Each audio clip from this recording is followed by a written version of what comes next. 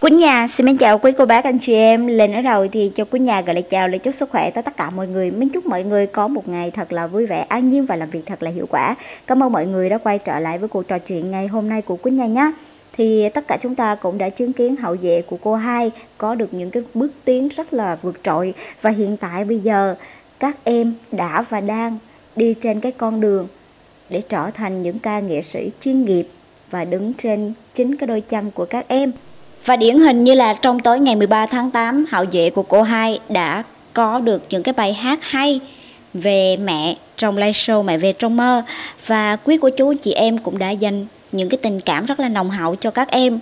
Và đó cũng chính là một trong những cái lý do vì sao và tại sao sau khi kết thúc live show thì đã có những cái câu chuyện không hay dồn dập ập đến với các em. Thì à, mới vừa đây trên trang Facebook cá nhân của Trường Sang cũng đã chia sẻ một cái dòng trạng thái. Và trước khi Quýnh Nhà đọc cái dòng trạng thái này cho tất cả quý cô chú, anh chị em nghe, thì à, Quýnh Nhà hiểu được rằng là trong cái câu chuyện khi mà một người khác, người ta có được những cái sự vượt trội hơn và được quý cô chú, anh chị em, những vị đồng nghiệp của cô hai giúp đỡ cũng giống như là có một cái sự hậu thuẫn vững chắc đó quý cô chú anh chị thì tất nhiên rằng là những người bên ngoài người ta sẽ có những cái lời đàm tiếu. Nhưng mà cho dù là có bất cứ một cái sự đàm tiếu nào thì chắc chắn rằng là đối với hậu duệ của cô hai cũng sẽ không bao giờ mà lung lay cái ý chí của các em được. Thì uh, trường sang đã chia sẻ như thế này. Dạ em xin trả lời luôn.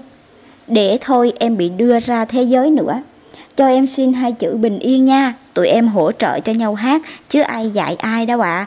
chị cũng là có người nói người nào nói ạ à? hay là chị tự nói ạ à? và bây giờ thì à, quýnh nhà sẽ tóm tắt nội dung của cái sự lùm xùm này là như thế này có một vị khán giả lên tiếng và hỏi trường sang là có một người nói, tuyết nhung, được nhiều người yêu thương là nhờ hát cùng với lại trường sang và trường sang nghĩ như thế nào chứ riêng đối với vị khán giả này. Thì Trường Sang hát, còn hát sai lời nữa, chứ đừng có nói gì mà dạy cho Tuyết Nhung. Và vị khán giả này cũng khẳng định được rằng là Tuyết Nhung mà được nhiều người yêu mến là nhờ vào cái sự yêu thương của tất cả mọi người, cũng giống như là cái sự giúp đỡ, dạy bảo tận tình của mẹ Nhung. Chứ không phải là vì Trường Sang mà của nhà không biết được rằng là cái câu chuyện này nó bắt nguồn từ đâu. Chứ uh, phía bên những người mà thương hậu duệ của cô hai thì chưa bao giờ mà nói những cái câu chuyện mà nó tào lao đến như vậy cả. Ai cũng thừa biết được rằng là tuyết nhung có được cái ngày hôm nay đứng vững trên sự nghiệp ca hát là một tay của cô hai giúp đỡ và dìu dắt cho em. Và trường sang chỉ là một người bạn diễn mà em mới vừa kết hợp gần đây thôi và các em hỗ trợ cho nhau trên cái con đường sự nghiệp ca hát để cùng nhau phát triển trở thành những ca nghệ sĩ chuyên nghiệp. Còn ngoài ra, ở bên ngoài các em lại là những người bạn rất là thân thiết. Cho nên làm gì có cái lý do nào mà để nói rằng là Trường Sang là dạy dỗ cho Tuyết Nhung, làm gì có. Và Trường Sang cũng chưa bao giờ mà dám lên tiếng để mà nói dù chỉ là nửa câu như thế này. Vậy mà người ta vẫn nói được nha mà Quýnh Nhà nghĩ rằng là nếu như thật sự là vị khán giả này có một cái sự yêu thương cho hậu duệ của cô hai, thì chắc có lẽ rằng có một cái sự hiểu lầm gì đó. Còn nếu như mà người ta cố tình để nói ra cái sự việc này, thì chắc chắn rằng là người ta muốn cho hậu duệ của cô hai bị ly tán và có những cái xào xáo để rồi à, chia rẽ nội bộ trong hậu duệ của cô hai chứ thật ra ai đâu mà rảnh đâu, nó không quý cô chú anh chị. Chúng ta quan tâm đến hậu duệ của cô hai, quan tâm đến đại gia đình của cô hai và những người thân yêu. Mà cô hai hết mực yêu thương thôi. Còn lại là những cái câu chuyện mà nói thật sự rằng là đứng trên sân khấu để mà hát cùng với nhau thì đâu có cái lý do nào ai để mà dạy dỗ cho ai. Chỉ có cô hai hoặc là chú mạnh quỳnh là những người dạy dỗ cho hậu duệ của cô hai chứ còn trường sang chỉ là một người bạn thôi mà, một người đồng nghiệp thôi mà. Mà em ấy cũng chưa bao giờ dám hé răng nữa, lời nói rằng là trường sang sẽ dạy dỗ cho tuyết nhung hay thế này thế kia đâu. Không hề có ngang chỉ toàn là những cái câu chuyện xuyên tạc không à. Bởi vì lẽ đó, cho nên chỉ mong rằng là hậu duệ của cô hai cố gắng mà vững lòng.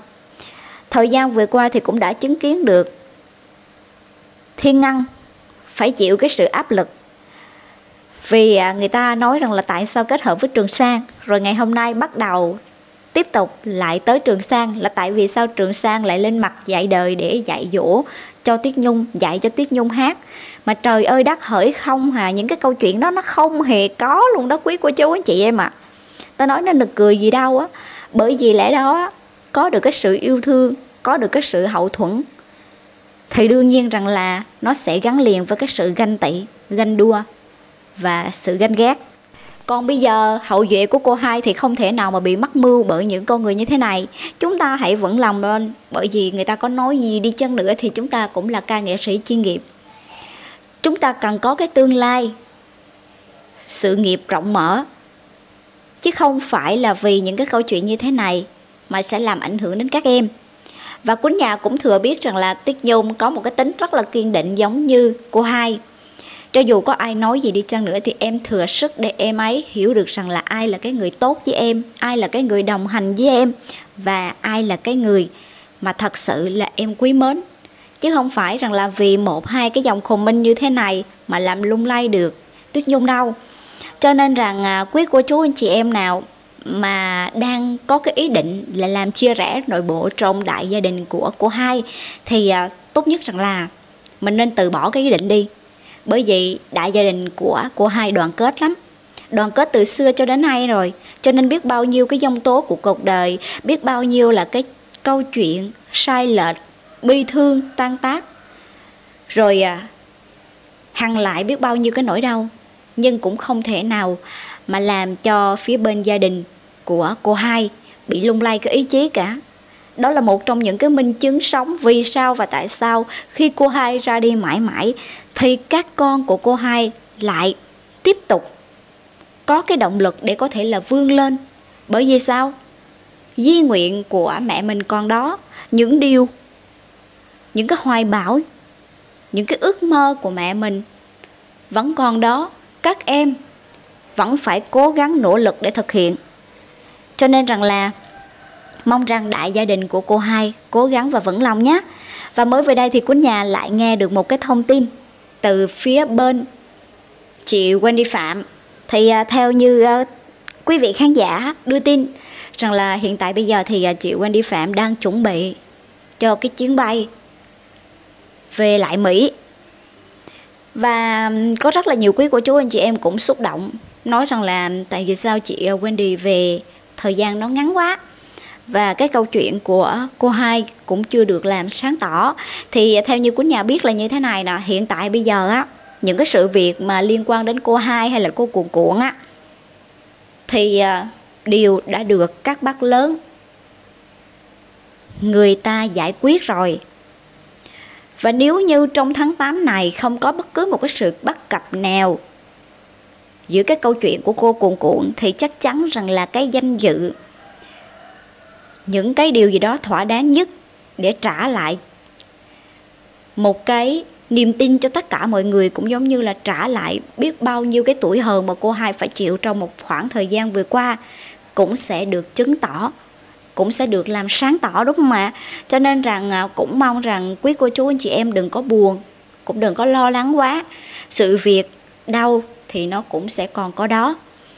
Đã nhờ cái sự can thiệp của các bác lớn thì chúng ta cứ yên tâm chờ một cái kết thật sự là thỏa đáng cho phía bên gia đình của cô hai thôi.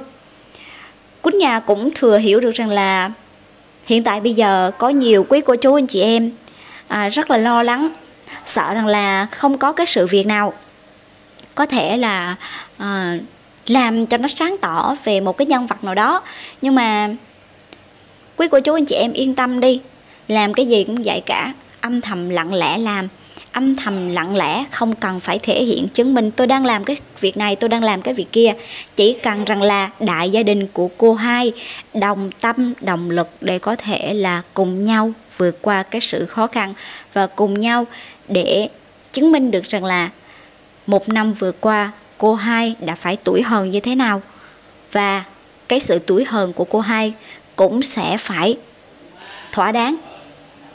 Ok, cái đoạn video này của Quýnh Nhà thì à, xin kết thúc từ đây. Mến chúc mọi người luôn dồi dào sức khỏe, bình an và vạn sự như ý. Cảm ơn mọi người ạ. À.